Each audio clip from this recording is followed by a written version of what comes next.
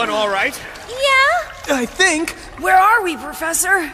I would say we're deep inside the ruin where intruders are held. Does that mean we're prisoners and won't ever get out?